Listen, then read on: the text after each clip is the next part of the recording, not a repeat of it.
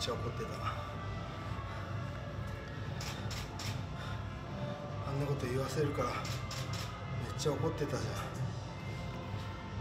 そりゃ怒るよね。どこの誰だかも分かんないやつに。変なこと言われて。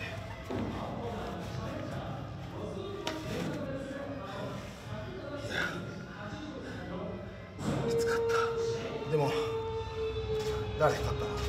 友？勝ったの友勝ったの友じゃないだろう。何勝ったの友？いやちょっと頼むよ。うんしか言わないと思われたら。手抜いてな。いやでもきつかったな今日。でもすごくシリーズ通してあの楽しかった。純粋に。まあ友のおかげかな、まあ、これで友との物語はとりあえず、まあ、最終回になっちゃうわけだけどまた機会があればまた絡むこともあるだろうしなければないし。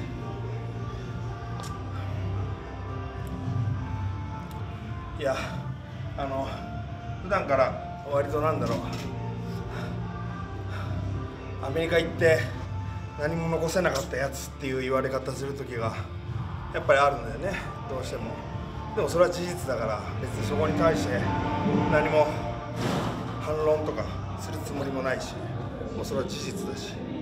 でも今俺は新日本で新しいチャレンジ前向いてやってるから。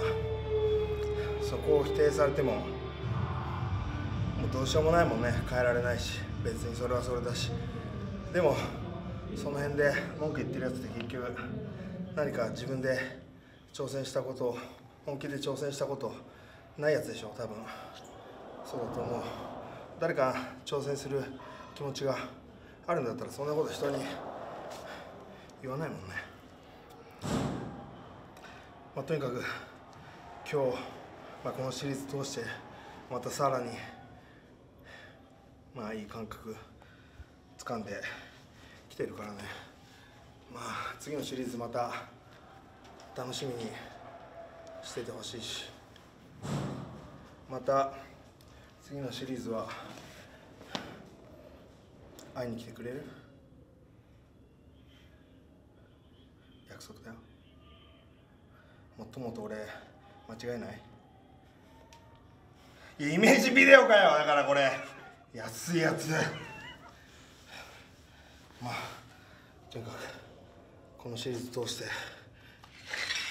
何が言いたかったかっていうと、まあ、1回の失敗ぐらいまた立ち上がればいいってこと。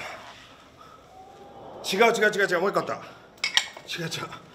よしあしはブスってこと。ブスはブス。